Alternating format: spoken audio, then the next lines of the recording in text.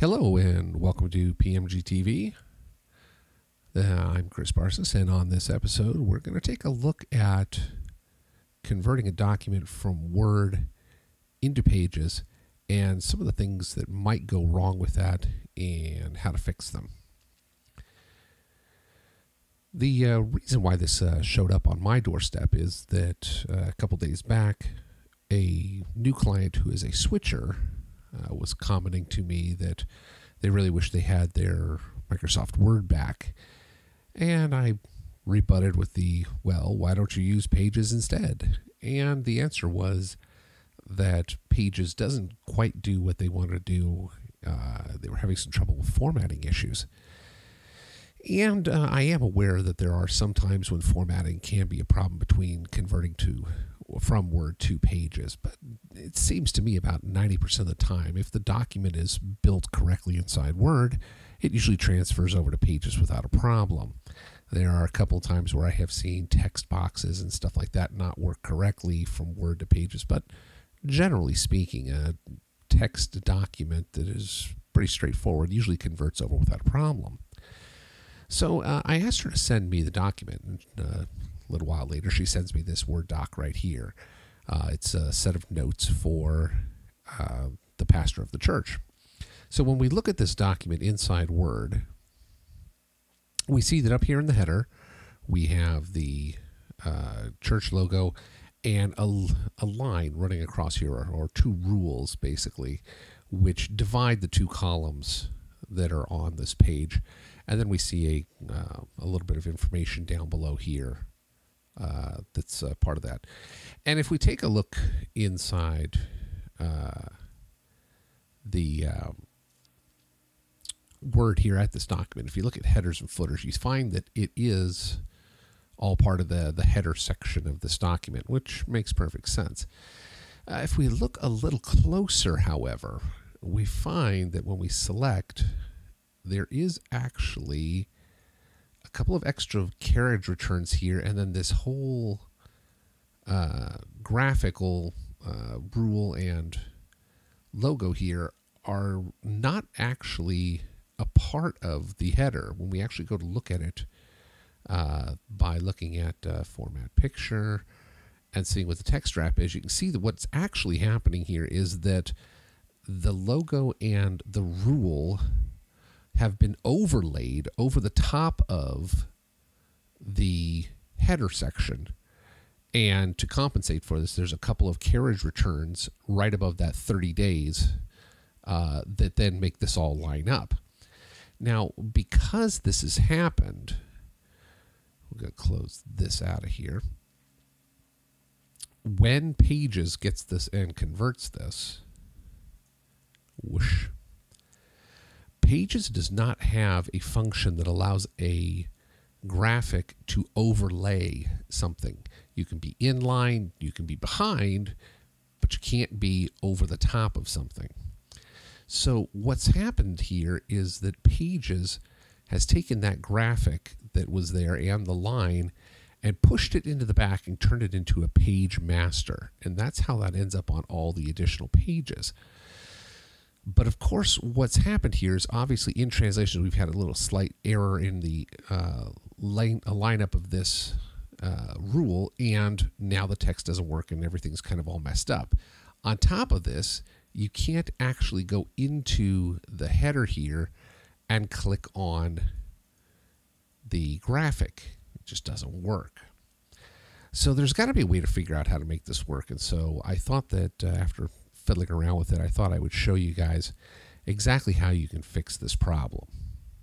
So if we look at it in uh, pages, we see that we have this header up here and we have the coastline doc uh, graphics and these two rules. And you notice the rules have been uh, misplaced here basically because of the fact that the header is no longer um, functioning the way it does uh, in Word.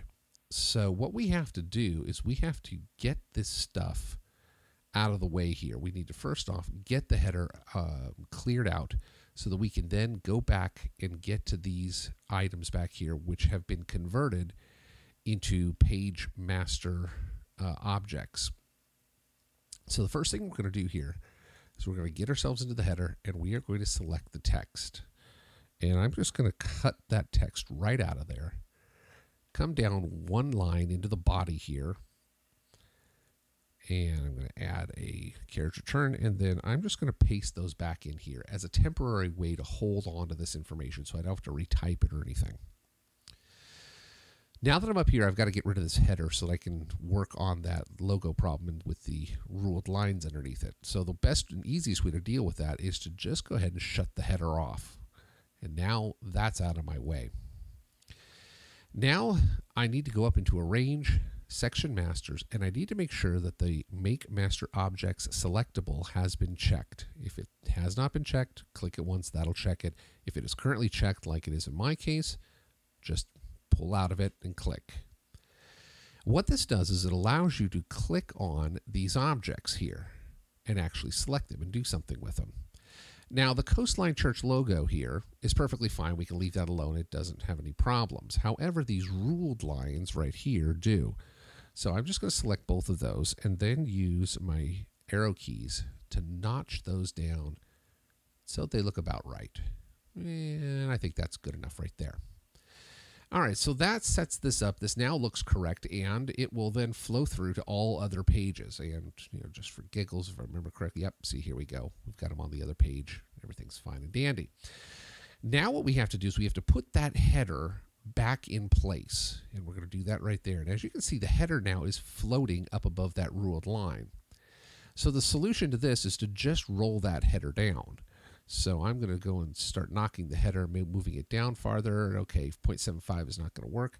I'm going to bet 0.80 is going to be right about right. Let's see here. No, no, not 0.08. Point eight zero. There we go. Oh, so very close. Let's take it to 0.85.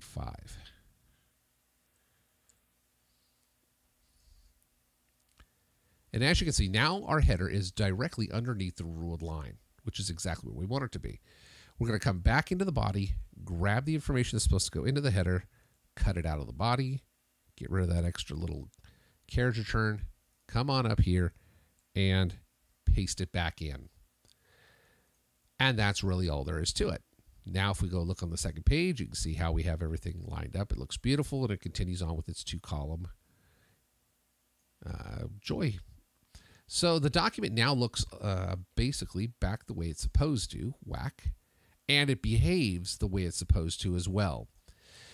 Now, you may be asked saying, well, gee, if I had Word, it would have all worked fine. Yes, that's very true. If you had Word, it would have worked all fine. However, the problem isn't actually with pages. The problem is actually with Word and how the document was constructed. It's never a good idea to try and overlay things over the top of other things. You need to put them in line or put them in a uh, master page or something along these lines, which is the way uh, pages and pretty much all other page layout programs work.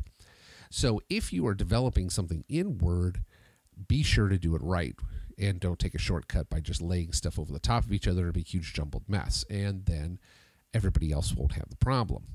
Of course, another uh, solution to this would be to not even bother with the Word doc and instead send a PDF. Uh, obviously, there's a, the problem of editing a PDF, but you would be guaranteed to be exactly the same on all uh, platforms, regardless of whether that's Unix, Linux, PCs, Macs, iPads, Android phones, whatever. So hopefully this shows you a little bit of how to fix this uh, problem if you ever run into it. And uh, hopefully you will uh, learn to uh, enjoy pages as much as I do. As always, you can get a hold of me at the website or you can give me a buzz at any one of the numbers below.